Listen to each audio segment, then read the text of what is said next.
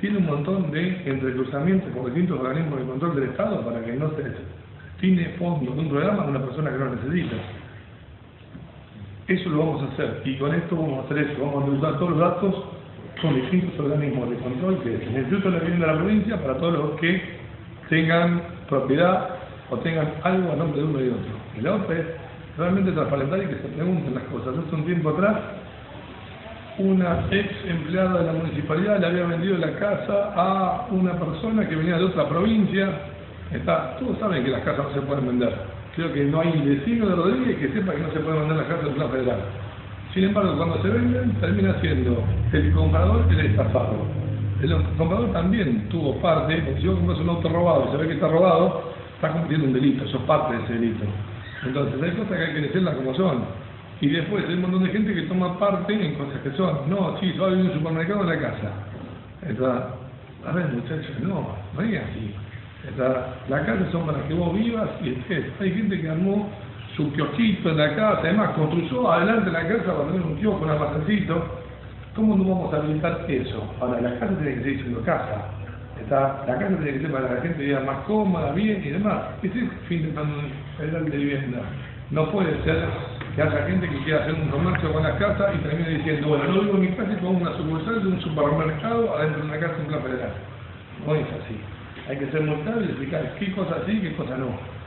Que uno pueda construir afuera y demás, nosotros, repito, nosotros, el Departamento Ejecutivo, con la ayuda de los concejales frente a la victoria, presentamos un proyecto para que se pudieran habilitar los comercios que se hicieran fuera de la construcción normal de la casa. Hay un montón de gente que tiene un comercio y demás, dentro del plan federal, pero no está usando su casa. Y además le estamos pidiendo a los que están usando su casa como negocio, muchachos, cámbienlo, construyan afuera, porque si no, no vamos a poder habilitar. Pero también hacer un descomiso adentro de una casa, el único que puede entrar es una orden judicial, un juez, el almacenamiento, no la municipalidad.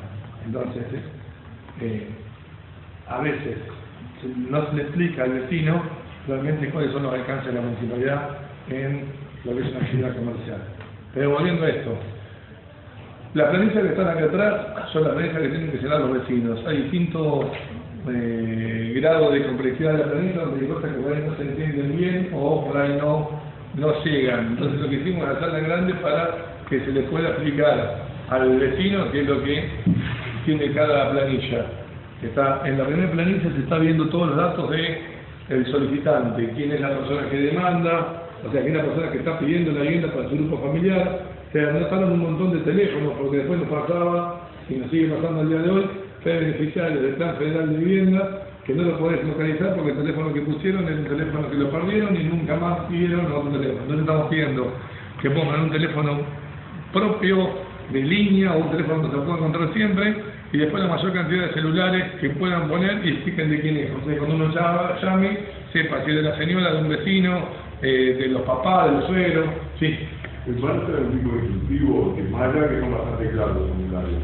Es un tipo de instructivo para entregarle... Vamos a poner estos, vamos a poner estos paneles grandes en distintos lugares para que la gente lo pueda ver. Esto fue una iniciativa del Partido Socialista, del Consejo Partido Socialista. Estuvimos hablando con eh, Cabrito, con el presidente del Consejo Federal, para poner, ponernos distintos lugares para que la gente se pueda acercar y ver y pueda preguntar. No obstante esto, está la oficina de defensa del consumidor con más Buya que tiene estos formularios y están los chicos que estamos capacitando, pero bueno, estamos hacer y estamos viendo que hay un montón de falencias en, no, fíjate esto, fíjate el otro, y queremos que la gente se entere que lo vamos a tratar de llamar por teléfono, lo vamos a publicar puntualmente en todos los medios y en todos los eh, espacios de frente, le damos las gracias a ustedes que nos den una mano en esto, que vamos a poner un listado donde va a aparecer, por ejemplo, Juan Pérez, que tiene tal número de inscripción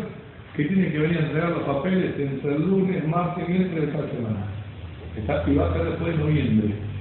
Así lo hacemos ordenado y demás, y no hay que hacer cola, como pasó el primer día, que vinimos a la noche a decirle, hay formulario para todos, no hagan una noche de cola porque no es quien entrega primero. Eso se tiene que cruzar con un montón de organismos de control y no significa que vos, teniendo casa, teniendo tres autos, dos camiones y demás, venís los primero por el primero, vas a tener una casa asignada. Por eso tiene que pasar a controlarse y tiene que ver y ser lo más transparente que hay. Y la otra es, vamos a hacer en la primera etapa 207 viviendas, 204. Eh, de esas 204, si ya tenemos 2.800 personas, ¿qué vamos a hacer? Vamos a decir quién va y quién no va. Entonces queremos terminar de organizar esto y vamos a ver si damos un orden de prioridad o hacemos un sorteo público con escribano y demás, donde vamos a convocar a todos para que sepan y sea lo más transparente que hay en la necesidad de una vivienda. Hay cosas que se pueden hacer y hay cosas que no. No puedo hacer de un día para otro 2.800 viviendas que pueden alcanzar a hacer. Es un tema de espacio, un tema de terreno, un tema de servicio, que hay que ir organizándolo y ver para descubrir la demanda real de todos los días. Y también podemos usar estos mismos formularios para explicarle a aquel que vaya o que cumpla todos los requisitos de un protear para que en vez de anotarse en un plan federal de vivienda, mira, tenemos la facilidad de poder decirte que tenemos terreno acá, acá y acá. Por ahí, este es el barrio donde vos creciste, donde vos tenés tu familia y demás, te puede servir ese terreno, que nosotros hacemos convenio con ANSES, se lo entregamos a ANSES, puedes hacer en tu casa ahí, que va a estar cerca de tu suegro, de tu papá, de tu familia, y podemos terminar haciendo más tranquila la casa o en la futura vivienda donde si no lo Además, me visto los complejos de vivienda como como el bicentenario. Que el bicentenario, a ver, es el plan federal más grande de la provincia de Buenos Aires, todo en el mismo lugar. Entonces, hacer otro barrio también te complica mucho cuando haces muchas viviendas en un lugar que por ahí la gente no conoce. Te complica el traslado, te complica un montón de temas. La escuela en su momento, ¿bien? En la primera etapa, hasta que nosotros fuimos a la escuela, era una complicación para la familia que se mudó al barrio bicentenario, antes de vivir en Güemes, el nene iba a la escuela 14 de Güemes y se mudó un nene que vivía en eh, Granaderos e iba a la escuela 4, entonces a la gente le tenía complicando la vida para poder los chicos y no tenían una escuela cerca.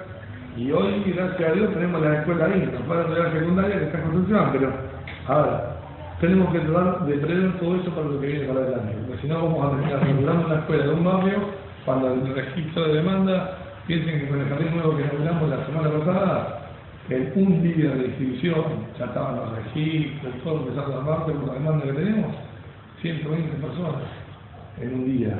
Y el jardín tenía 260 vacantes, entonces es complicado cuando la necesidad es tan grande, lo digo yo tanto de golpe, mientras estaba planificado un montón de cosas, y creo que nunca hicimos tanta escuela, nunca hicimos tantos servicios, pero no alcanza.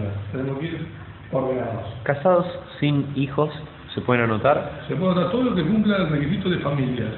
Para la provincia de Buenos Aires los planes federales son para familias. Entonces tienen que ser como tal familia. Puede ser un matrimonio recién casado, puede ser una mamá separada con todos los chicos, un papá que tenga a los chicos en un lugar de él. Hay un montón de variables. Un papá solo, separado, para la provincia o para lo que era lo que se decía antes familia, no es. Los formularios están hechos antes de la reforma del Código Civil. Entonces nosotros queremos que todo el mundo se anote. Después evaluaremos y después definiremos bien cuáles son los requisitos para ser beneficiarios en conjunto con el Consejo Deliberante. Y respecto del tema del, del ingreso, la Sí. gente que no tiene un ingreso fijo, Se puede anotar tranquilamente. pero los valores que tiene que colocar. No, no, no, no, que yo no lo ponga, ponés que no tenés ingresos. Si vos no O sea, si son eventuales, la gente que trabaja ¿no? en, en la informalidad, por ejemplo. El asunto es que no te eh, Porque hay un, allá hay, por ejemplo, un lugar donde dice ingresos 2.000, 4.000 y demás. Sí, pero eso lo podés, a ver, esta revista es la declaración jurada de la familia con los ingresos de cada uno, porque en la principal planilla, que también la tenés allá, tanto del grupo familiar, no se ponía o no se declaraba abajo un montón de cuestiones como se declaran acá, que son beneficiarios de otro campo de vivienda, estaban si los datos realmente son ciertos, bueno, son tarifas que hicimos por demás para que sea lo más transparente posible. Porque si tienen ingresos eventuales, vos tenés un promedio de ingresos eventuales que tenés al año. Si haces factura de lo que ingresás, lo tenés que declarar. Si vos decís mi ingreso eventual son mil pesos en promedio por mes, y un mes cobraste diez mil pesos, y otro ocho meses no cobraste, es más o menos por rateo lo que cobras vos. Pero la idea es que todos estos datos al entrecruzarse, si vos decís no tengo ingresos, y después cuando se entrecruza sale que tenés un ingreso fijo de, no sé, 20 mil pesos, a ver. Más que nada para la gente que trabaja en la informalidad y que tal vez no, no, no está anotada en Y hay ningún gente que por ahí no te lo declara o factura en negro, o mejor dicho, no factura y no tiene ingreso formal. ¿Te das en una planilla, cuando hace una declaración o una denuncia puntual, vuelvo al ejemplo de Nieto. Hay gente que está diciendo, no, se anotó Raúl y Raúl no lo merece porque cobra 200 mil pesos mensuales. ¿Qué sé yo? Por decirte algo. A ver, se van a reducir los datos. Y si esos datos que vos estás denunciando son ciertos o se da por el nivel de vida que lleva, uno tranquilamente cuando va a hacer el censo de la casa se da cuenta. Para eso las asistentes sociales estudiaron, para eso hay un montón de eh, trabajadores y servicios que uno puede llegar a articular para realmente averiguar qué cosa es cierta y qué cosa es mentira. Por ejemplo, todo el mundo dice, no, no, no. Entonces queremos que esto sea lo más transparente que y que cubra todo el efecto de Rodríguez. No tenemos problema que hacer la gente que se fijaba, no, vino a buscar la planilla fulano de tal, que vino un auto 0 kilómetros, puede venir en 3 o 0 kilómetros. Lo que queremos es que la persona realmente que se anote en el plan de vivienda sea la que necesita esta vivienda. Y si la otra persona tiene ingresos para un propiedad, tenga desde el Estado la facilidad de tener la información de cómo puede hacer para tener su vivienda. Porque el que va a venir, así venga en 0 kilómetros, no viene a buscar a una persona que no la necesita. Todos los que vienen necesitan su vivienda y tienen que tener una vivienda digna. Sinceramente, que haya venido tanta gente cuando otro grupo vino a decirle en la fila, no, no saquen la formulario, que es mentira, que esto demás, eso habla de la confianza que nos tienen los vecinos de los días en la cosa que hacemos y en la seriedad con que hacemos las cosas. Nosotros nos prometemos cosas que no podamos hacer. Eso lo dijo un can- un candidato oficial. En la fila de. En la fila, vieron, a ver, yo yo tantas cosas por extraños, que más, que la gente en la calle, y Juan Pablo me pasa vez con Tiago, porque se la gente que presentara un documento cuando firmaba la registraba la planilla. Está, porque fortísimo que la gente viniera a buscar la planilla y no le dijimos saquen fotocopia y demás.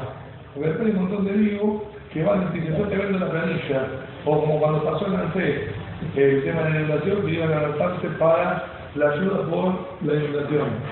Había gente que hacía la cola a las 3 de la mañana y no era ni Rodríguez.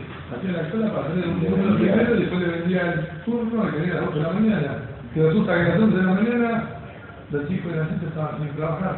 Porque era muy, sea, era un curso boteca muy temprano y después, entre las 11 y las 2 de la tarde, vos llegabas, hola, vengo a buscar, te tomaban los datos y hacías mucho más rápido. Entonces, por ahí la gente se le, le llega la información cambiada, no tenemos que hacer eso. Y que cada persona diga y se anote quién es el que está dando para plan de la vivienda. Así también es más fácil hacer los desglosamientos. Del registro de cada uno